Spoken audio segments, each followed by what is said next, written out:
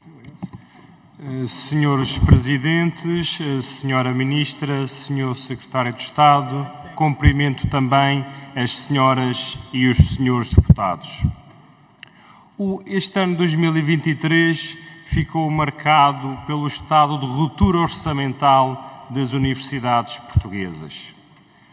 Eh, neste sentido, a Universidade da Madeira viveu dificuldades acrescidas por força da sua condição ultraperiférica e por força da sua condição insular.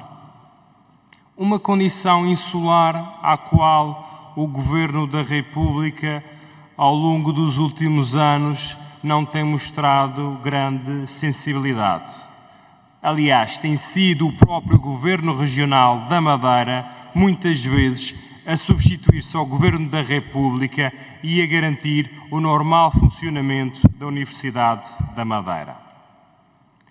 E perante esta falta de visão estratégica do Governo Central, a Universidade da Madeira tem, tem procurado financiamento uh, por conta da internacionalização da sua instituição uma internacionalização, Senhora Ministra, que está também a ser comprometida pelo seu governo, pelo governo da República, pela incapacidade que tem revelado em garantir alojamento para os estudantes que se querem fixar na cidade do Funchal.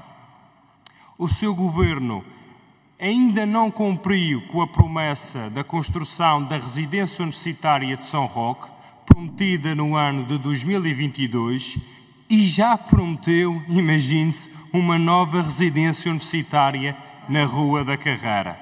Ora, Senhora Ministra, a Universidade da Madeira, os madeirenses não podem viver de anúncios. Para terminar, Sr. Presidente, pergunto, só para concluir, pergunto, Sr. Presidente, até quando é que vamos assistir à falta de financiamento do seu governo e para quando é que podemos, é que podemos ter as novas residências universitárias no Funchal. Sr. Presidente, muito obrigado.